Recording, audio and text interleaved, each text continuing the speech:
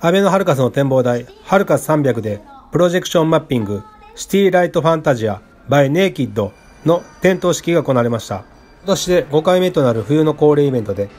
展望台の窓ガラスに投影したプロジェクションマッピングが楽しめます。この没入感 immersive ということでいうと我々が作るものもそうですけどこの場所というのはこの大阪の夜景全部ですねこれがもう没入の舞台として整っているという素晴らしい場所ですからそのイマーシブなアートをやるには僕としてはその文脈上もというかもともとある大阪の夜景という、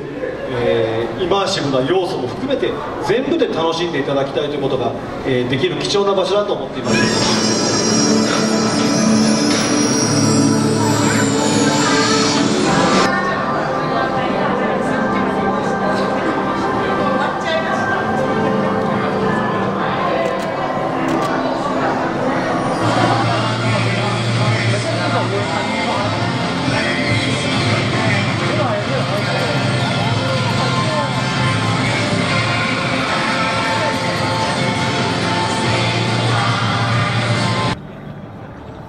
以上安倍の経済新聞がお伝えしました。